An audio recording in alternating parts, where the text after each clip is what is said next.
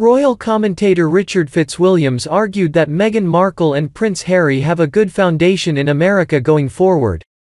However, during an interview with Express, he admitted that he believes Prince Harry relies heavily on his wife Meghan for mental support. The pair have admitted to wanting to move to the US and step away as working royals due to their difficult time period as a couple in the eye of the press in the UK. Mr. Fitzwilliams said, as far as the future is concerned Meghan Markle and Prince Harry are on firmer ground. She understands Hollywood and they are based where she has a large number of friends and connections. Prince Harry also has good relations with the Obamas. The Sussexes appear very happy together and they are backing very similar issues. There is no question emotionally he appears to rely on Meghan a great deal as he has been very open on questions of mental health. There is also the question of privacy they need to bring up their son Archie and I am sure they will ensure that as best they can. Despite the attempt at a fresh start, as Harry is not US born like his wife Meghan, he will have take steps to ensure he can stay in the US. Following a TV appearance with Meghan Markle earlier this week, fans were quick to pick up on a phrase used by the Duke that hinted he may eventually become a US citizen. In the clip Meghan and Harry insisted on the importance of voting in the upcoming US presidential election and the need to combat negativity. Prince Harry, Meghan Markle are embarrassing themselves, National Review, columnist says. Prince Harry and Meghan Markle are embarrassing themselves in the wake of their move to the US, their Netflix deal, and their advocacy, National Review columnist Madeleine Kearns opined. Specifically, she claimed that the pair have an insatiable hunger for power. The Duke and Duchess of Sussex have not retreated into a quiet life of relative obscurity after resigning as senior members of the royal family and moving across the Atlantic Ocean, first to Canada and later to Santa Barbara, California.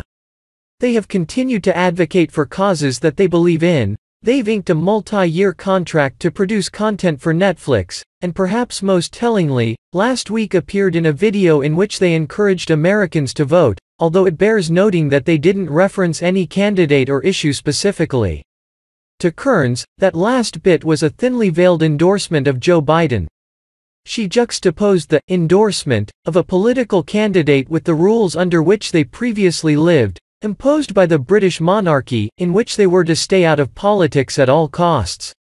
She compared their actions to a hypothetical scenario in which an American couple were to reject their former rules in favor of something that is diametrically opposite. What the couple have done here, is rather like the Kushners, Ivanka having converted to Judaism in order to marry Jared, suddenly revoking their religion, publicly breaking every rule in the book, then moving off to join a hippie colony. It's very unseemly, shall we say? Kearns wrote. Kearns then went on to the couple's advocacy for climate change and social justice issues in the light of their own personal wealth and privilege.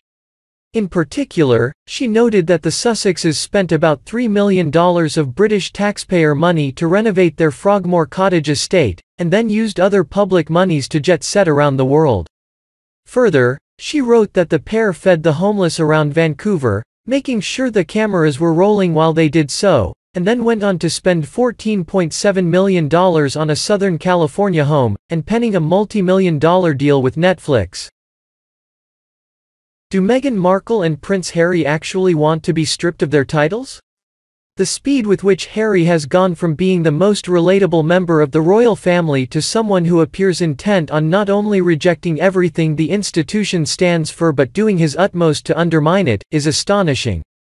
It had already become clear, even before he met Meghan, that the prince was struggling to find his feet as a royal. He harbored a lot of pent-up resentment, not only towards the constraints of the institution itself, but also towards his family for the way his mother had been treated. I don't think it was any coincidence that he chose as his bride a woman who was always going to struggle with the restrictions of monarchy. Meghan was never going to put up with that kind of life. That was abundantly clear right from the start to anyone with eyes in their head. This way, he gets to find freedom, and sock it to the institution which, it is increasingly apparent, he despises. Meghan Markle's latest appearance shows off her favorite candle, and a memory of her wedding.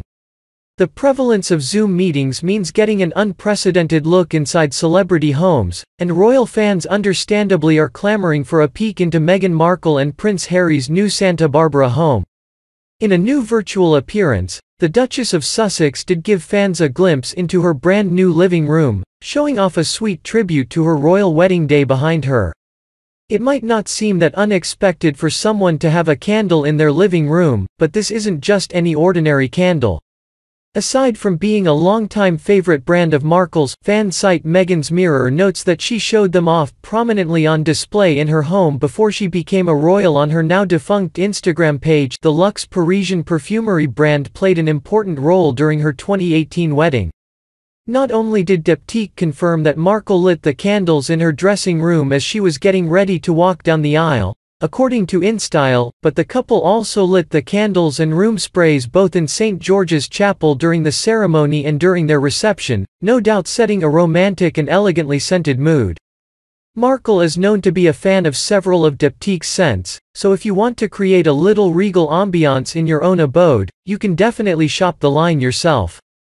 Though the small scented candles will set you back $36, a little bit of royal luxury might just be the ticket if you're spending tons of extra time in your space these days.